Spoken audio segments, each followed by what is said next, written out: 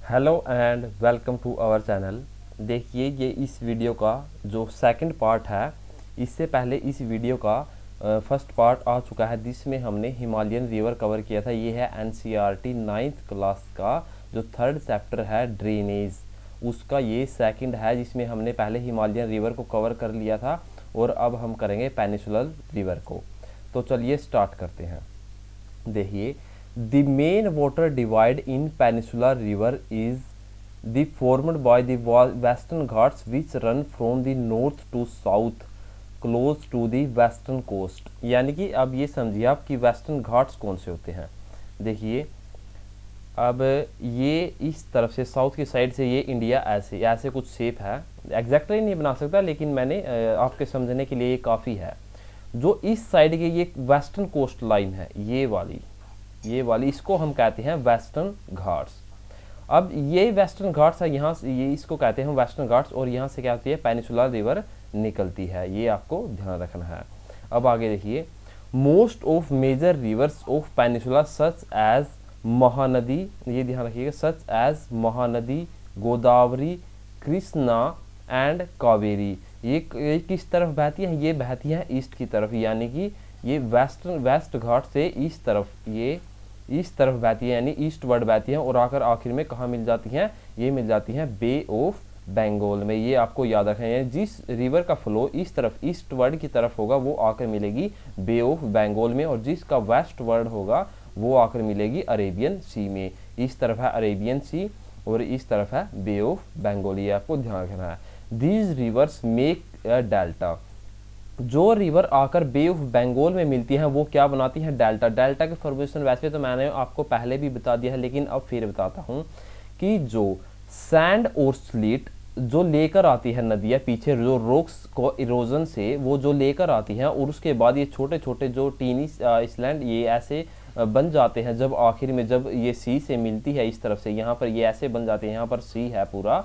तो ये इनको कहा कहा जाता है डेल्टा। ये ऐसे डेल्टा की फॉर्मेशन करते हैं। जो रिवर बे ऑफ़ बंगाल में गिरती है, वो करती है डेल्टा की फॉर्मेशन अब आगे देखिए।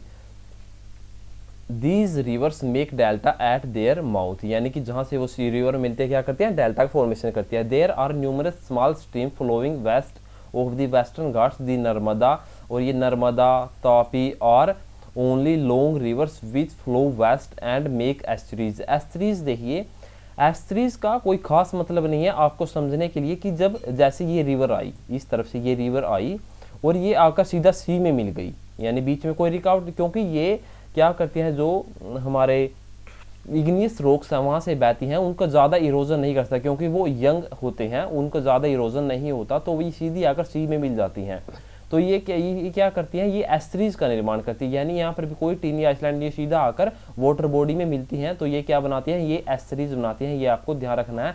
एस्ट्रीज और डेल्टा में कभी कन्फ्यूज़ नहीं होना है। जो रिवर आकर बे ऑफ़ बंगाल में मिलेगी, वो डेल्टा का निर्माण करेगी, और जो आकर मिलेगी अरेबियन सी में, वो क्या करेगी एस्ट्रीज अब आपको इन रिवर का नाम भी ध्यान रखना है कि कौन सी बे ऑफ़ बंगाल में मिलती है और कौन सी डेल्टा बनाती है और कौन सी एस्ट्रीज बनाती है। देखिए, नर्मदा और तापी, ये क्या बनाएगी? ये बनाएगी estuaries make estuaries. The drainage basin, the peninsular river और the comparatively small in size. यानी कि हिमालयन जो रिवर्स है, उनसे इनके बेसिन क्या होते हैं? वो स्मॉल होते हैं। बेसिन यानी कि, बेसिन कहा जाता है कि जैसे कोई रिवर आई एक मिनट में आपको इसको समझाता हूँ। एक बार रुक जाइए। अब देखिए, ये कोई रिवर आती है इसमें जो ट्रिब्यूटरीज हैं, ऐसे आकर और जो पूरे एक एरिया में, एक साइड समझाता हूँ, जैसे कि अब ये कोई ट्रिब्यूटरी नदी आई, इसमें इसकी ट्रिब्यूटरीज मिली, और ये इस जो पूरा एरिया है, मान लीजिए इस तरफ़ ये कोई एरिया है, और यहाँ पर जो ये वाटर प्रोवाइड कराती है इरिगेशन के लिए या किसी और पर्पज़ के लिए भी तो ये क्या करेगी? ये इसका ड्रेनेज बेसिन कहलाएगा, पूरा पूरा जो ये सिस्टम है, इसको हम कहते हैं ड्रेनेज बेसिन पूरे जो ये पर्टिकुलर रिवर का नाम है। अब हम पहले पढ़ेंगे नर्मदा के बारे में। एक एक करके हम सारी पैलिसुनर पैलिसुनर जो रिवर हैं, उनके बारे में पढ़ेंगे। पहले हमें पढ़ना है नर्मदा के बारे में। तो चलिए स्टार्ट करते हैं। The Narmada river rise in Amarkantak hills. ये कहाँ से, जो राइज होती है, नर्मदा रिवर, ये होती है अमरकंटक हिल से। जो है मध्य प्रदेश में, ये आपको इनका ओरिजिन ज़रूर ध्यान रखना है, रिवरों का, कि ये कहाँ से निकलती हैं और आखिर में जाकर कहाँ मिलती हैं। It follow toward the west in the rift valley rift valley से कहाँ पर वेस्ट की तरफ़ फॉलो करती है due to faulting on its way to sea और इसके जो सी का रास्ता है the Narmada creates many picturesque location यानी कि जो इसका सी की तरफ़ रास्ता है, उसके बीच में क्या बनाती है? बहुत ही देखने योग्य यानी कि बहुत ही सुंदर जो लोकेशन है, वो दिखाती है।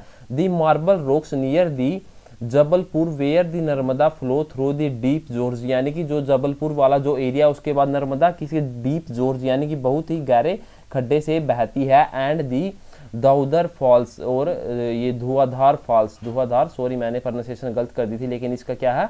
धुआधार फॉल्स, इसका निर्माण करते हैं, ये आपको ध्यान रखना है, अगर कोई भी रिवर के ऊपर कोई डैम बना होता है, कोई फॉल्स बनता है, कोई हाइड्रो इलेक्ट्रिक प्रोजेक्ट होते हैं वो सब आपको ध्यान रखने थे। एक रिवर का ये पूरा पूरा सिस्टम होता है उसको पढ़ने का।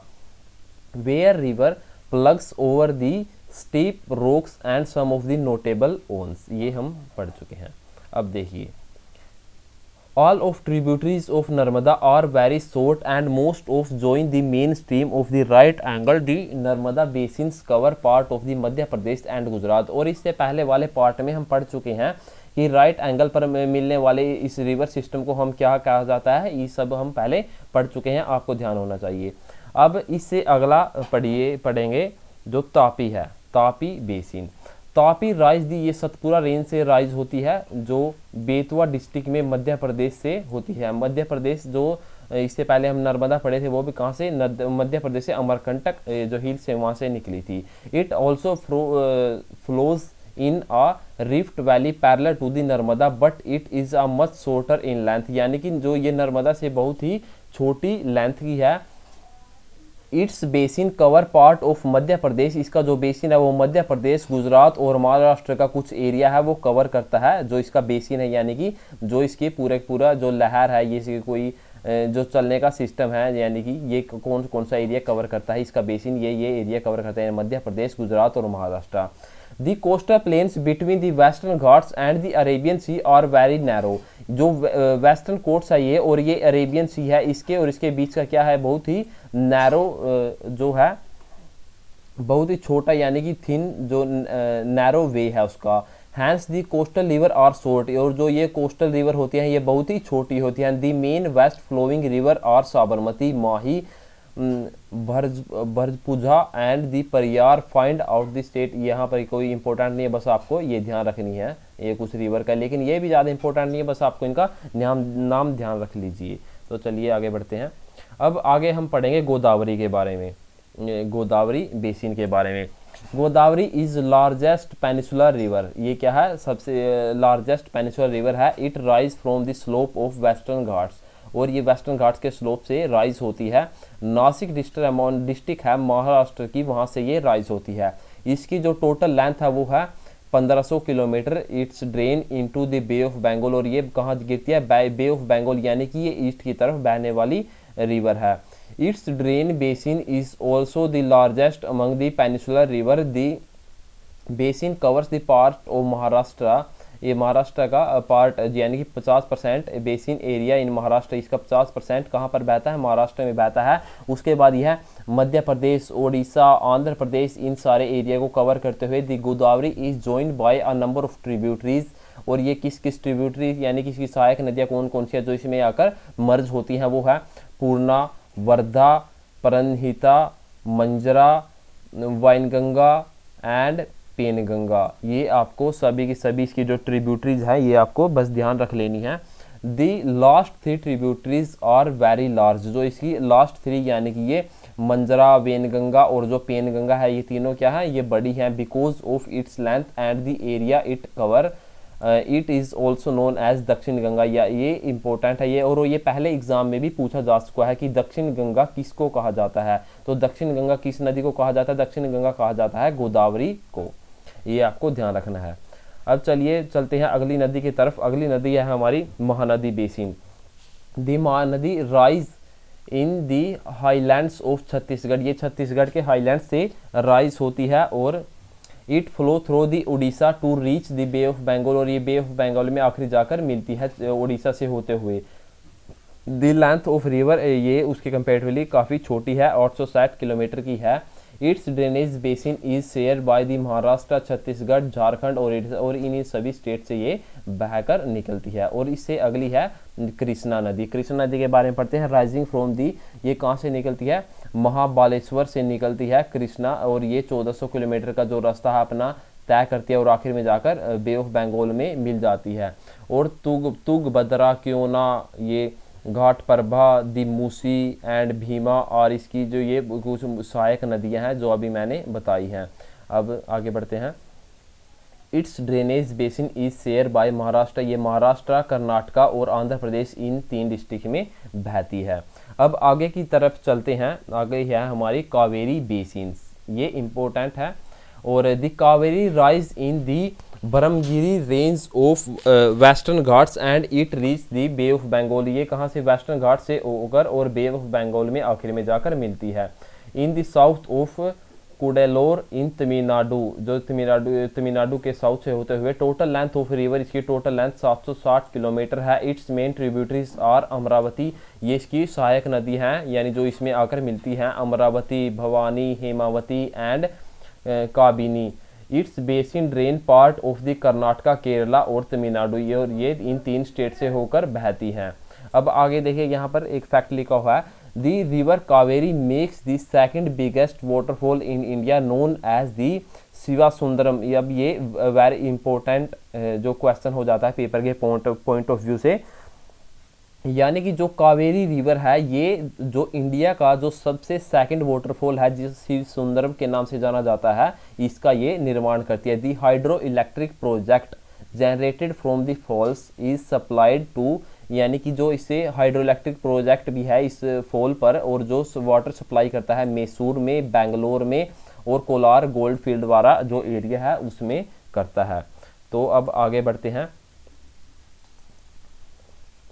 Beside these major rivers, there are some smaller rivers flowing toward the east. They are Damodar ये कुछ छोटी नदियाँ हैं ये ज़्यादा बड़ी नहीं है और आपको इनके डीपली में कुछ याद रखने की ज़रूरत नहीं है। दामोदर ब्राह्मिनी और बेतरीनी एंड दी साबर सबन रेखा और also notable example located in अब इसमें देखिए अब यहाँ पर एक फैक्ट लिखा हुआ है जो और ये हमारी आखिरी नदी थी। अब यहाँ पर इस फैक्ट को देखिए आप। 71 percent of the world surface is cover by water मान लीजिए ये पूरा का पूरा वर्ल्ड है और इसका जो 17 परसेंट है, वो उस seventy one percent sorry seventy one percent पर क्या है? वाटर है। और इसमें से केवल जो तीन परसेंट है सेवेंटी वन परसेंट में से केवल तीन परसेंट वो है फ्रेश वाटर और three quarters of its trap into ice और इसका जो एक तिहाई हिस्सा है, वो कहाँ पर है? वो आइस में, वाइस के रूप में जमा हुआ है। अब चलिए आगे बढ़ते हैं। अगला हमारा टॉपिक है लेक्स लेक्स के बारे में अब हम पढ़ेंगे। You may be familiar with the valley of Kashmir यानी कि अगर आप कभी कश्मीर गए हैं तो उसकी जो वादियाँ हैं, उनसे जो फेमिलियर होंगे एंड दी फ़ेमस और वहाँ पर कुछ यहाँ पर लेक का नाम लिखा हुआ जो डल लेक है हाउस बोटिंग यानी कि यहाँ पर कुछ ज़्यादा इंपॉर्टेंट तो नहीं है, खैर। लेकिन फिर भी आप एक बार अगर पढ़ना चाहते हो तो इसे पढ़ लीजिए। Imagine that the Srinagar Nainital and other did not have a lake would they have been attractive as they are today have you try to यहाँ पर कुछ ज़्यादा इंपॉर्टेंट नहीं है और ना ही आपको इसको ज़्यादा या कुछ याद रखने की ज़रूरत है। अब चलिए आगे बढ़ते हैं। यहाँ पर देखिए। India has many lakes India के पास कई लेक्स हैं. These different from the each other in the size और ये एक दूसरे से जो उनका, जो साइज़ है, उनका और और उनके जो करेक्टरिस्टिक्स हैं, उनमें एक दूसरे से भिन्न हैं. Most lakes are permanent some contains water only during the rainy season यानी कुछ तो इनमें से परमानेंट है, यानी उनमें वाटर आता रहता है और कुछ रेनी सीज़न में आता है, यानी कि वो सीजनल है। Like the lake of the basin in the inland drain of the semi arid region these are some of the lakes which are result of the action of glacier and the ice sheets while the other have been formed by wind and river action these human activities अब आगे पढ़िए। A meandering river across the flood plains former cut of these latter develop into oxbow lakes यानी कि अब ओक्सबो lakes का concept हम पहले पढ़ चुके हैं, लेकिन मैं एक बार आपको दोबारा बताता हूँ। जैसे कि ये कोई रिवर है, इसका फ्लो ऐसे है उसके बाद किसी कारणवश इसका फ्लो यहाँ से होकर ऐसे जाने लगता है। और फिर यहाँ पर ज़्यादा पोटेंशियल होने कारण, ज़्यादा सरफेस पर फोर्स लगने कारण इसका दोबारा से रास्ता ये बन जाता है और ये जो हिस्सा है, इसका इससे अलग हो जाता है बिल्कुल। और ये जो ऐसे करके जो कोई भी मतलब ऐसे किसी उसका वाटर बॉडी का एक का निर्माण होता है, जिसे हम जानते हैं ओक्सबो लेक के बारे में, इस, इसको कहते हैं हम ओक्सबो लेक ये मैंने आपको समझा दिया है। चलिए आगे बढ़ते हैं। अब देखिए spits and bars from lagoon in the coastal area example Chilka lake या ये Chilka lake and the Pulicat lake Kolleru lake ये सभी सभी इंपॉर्टेंट लेक है। Lake in the region of the inland rain are this sometimes seasonal for example this ये सारी seasonal जो हमें पहले पढ़ चुके हैं, वो परमानेंट थी और ये सीजनल है, सांबर लेक है, ये राजस्थान में है which is salt water lake it is a water is use for the producing salt और ये जो सांबर लेक है, इसके क्या क्या क्या किया जाता है, इससे नमक बनाया जाता है। Most of the fresh water lakes are in the Himalaya Himalayan region यानी जो हिमालयन रीजन है, जहाँ से बहुत सी नदियाँ भी निकलती हैं, वहाँ से क्या होता है बहुत सारी फ्रेश वाटर की जो लेक है वहाँ पर मिलती है। These are the glacier origin in other world they former very glaciers and dug out of the basin which was later filled with the snow melt this Wular lake in Jammu Kashmir in contrast is result of the tectonic activity जो Wular lake है, ये किसके कारण बनी है? ये tectonic activities के कारण बनी है? टेक्टोनिक एक्टिविटी ये जो टेक्टोनिक एक्टिविटी है, ये अपने आप में ही एक पूरा चैप्टर है। इसको भी कभी कवर करेंगे। It is a largest flash fresh water lake in India the Dal lake Bhimtal Nainital Loktak and Barapani are some of other important freshwater lake. Apart from the nature lakes, the damming of the rivers of generation of hydel powers has also led the formation of lakes such as Guru Gobind Sagar, Bhakra Nagal project. अब आगे पढ़ते हैं lake are a great value human beings a lake ये तो ये इसमें कुछ आपके ज़्यादा इंपॉर्टेंट करने की वो बात नहीं है role of rivers in the economy अब देखिए कि रिवर का रोल इकोनॉमी में कैसे होता है? River has been the fundamental importance throughout the human history जो रिवर का है ह्यूमन हिस्ट्री के बारे में एक जो वाइटल रोल है, एक महत्वपूर्ण योगदान है। Water from the river is a basic nature resources essential for the various human activities और इसका हमारे कई एक्टिविटीज़ में बहुत ज़्यादा काम आता है और इसका रोल होता है। Therefore the river of the banks और attracted settle from the ancient time the settlement have now become the big cities make a list of cities state. ये एक्टिविटी है, ये आपके काम की नहीं है। Using river for irrigation navigation hydro ये इस प्रकार से हमारे लिए इंपॉर्टेंट है। इससे क्या करते हैं, हम सिंचाई करते हैं। नेविगेशन के लिए यूज़ होती है। हाइड्रो इलेक्ट्रिक जो इलेक्ट्रिसिटी जनरेशन के लिए यूज़ होती है।